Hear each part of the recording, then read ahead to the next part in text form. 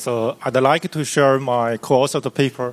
It is called Beyond Smoothing, Unsupervised Graph Representation Learning uh, with uh, Edge Heterophily discriminating. So this is a this is a joint work with my co-supervised student, PhD student Yixin Liu, and co-supervised by Shirui Pan and uh, Vincent Lee.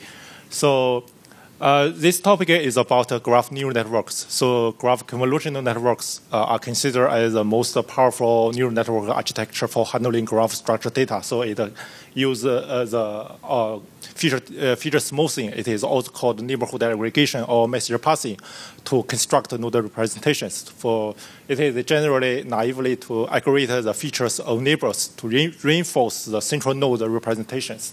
So, however, the success of the graph convolution networks relies on the homophily assumption. So, it, it, they assume that uh, the two nodes connected by an edge should be have similar features, similar representations. However, in the real world, uh, two nodes might uh, connected uh, uh connected nodes might have very different uh, representations. We call the edges connect the very different uh, nodes called heterophily edges. So we use uh, edge discriminator to uh, discriminate the uh, homophily edges and the heterophily ages. And we construct representations on the two edge views.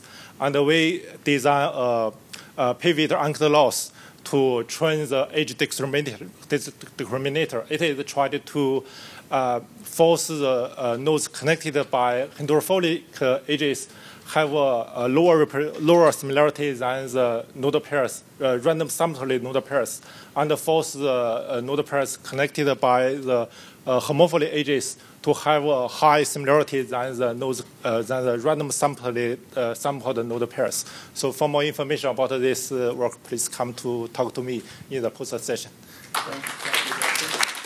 All right, hello everybody. My name is Marcus, and I will very briefly outline to you something that I've been working on for a little over 10 years now. Um, let me start with a bit of history. So, about 200 years ago, Charles Darwin explored the world on the HMS Beagle, and upon returning home, he noticed that some of the specimens of finches that he collected at the Galapagos Islands they varied in terms of their beaks and their plumage.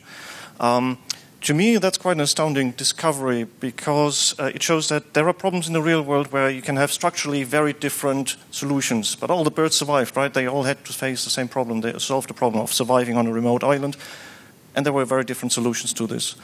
In IT, diverse sets of solutions can also be very useful. I'll very briefly outline two situations. First one, let's assume an earthquake, I guess, uh, takes out part of our uh, power system, a power grid, and now it may be up to us to devise a restoration plan. Now, ideally, that's not only just a single restoration plan that does its job and restores everything, but maybe we want to create a set of uh, a diverse set of solutions that are all great in terms of resources that they consume, um, but they maybe turn on things in different orders. Then uh, with these different plans, a, a human uh, expert can go ahead and pick the one that they actually want to implement. At an algorithmic level, very rated is the idea or is the situation in inspirational image generation, where a, uh, a, user already comes to you with a solution and says, I would like to have solutions that are kind of similar in quality but different in a high dimensional, complex, non trivial feature space. So these are two situations where I think diversity can be quite helpful. If you'd like to learn more about how diversity can be helpful in um, algorithm understanding, algorithm tuning, algorithm portfolios, please come to me to the poster. Thank you. Uh, yes, uh, so I'm going to present this uh, paper, which is majorly done by my PhD student in collaboration with um, SMU and University of Melbourne. Um, so it's about so already talked about graph representation learning. So this is about finding anomalies in graph, like for example citation network, and finding uh, like an unusual author um, there, uh, and uh, specifically looking in. So graph anomaly detection and the uh, challenge in there is that there's high because we don't have uh, uh, knowledge about label label of like anomalies. Um, there is this high, it has high false positive So one um, approach uh, to look into it is to uh, use cross-domain. So use a uh, given and unlabeled uh, target uh, graph. you want to get like use an like a source graph that is labeled to identify anomalies.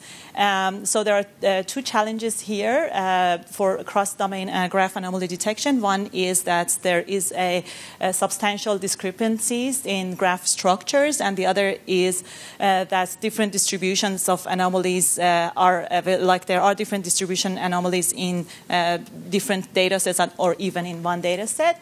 Uh, so in this paper, we uh, found like we proposed a new domain adaptation technique. Um, uh, which, uh, for example, in this uh, uh, plot, you can see on an A that there is this discrepancy between the source and uh, uh, source anomaly and source anomaly and target anomaly, and also the normals on A. but then our proposed method, you can see that there is a good, perfect, like very, very good alignment between these two domains. So it actually aligns the normal class in in source and target, as well as using contrastive learning um, uh, uh, using graph uh, structure. we have good results as well, so come to the poster. Thank you. Hello, everyone. I'm a first year PhD student from Monash Medical AI Group, and today I'm happy to introduce our recent work towards traceable skin cancer diagnosis via rewriting models decision in this work, we aim to address the embarrassing issue in skin cancer diagnosis caused by dermoscopic artifacts.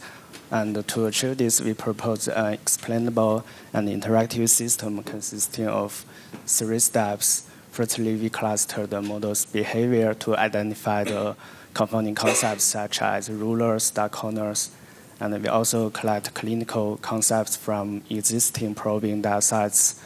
And then we construct a concept bank by learning a set of concept activation vectors.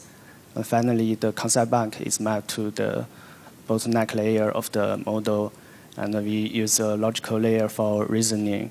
Beneficial from the logical layer, we can observe the decision process of the model and intervene by modifying the logical truth table. And we perform experiments on five highly biased data sets and uh, explore the impact of removing each confounding concept through human interaction. Uh, it can be seen that our method using human interaction can significantly improve the performance across five, five data sets. For more details, please refer to our CVPR paper. Thank you. Uh, Okay, hi everyone. My name is Xuanling Zhang. I'm a PhD student of Zongyuan Ge. So today I'm going to talk about the work uh, learning network architecture for open set recognition. So the main task here is the open set recognition. So normally, a for deep, in deep learning, so like a, a classification model, it will like have the closed set assumption where like the at the training time and the test time, the classes are the same.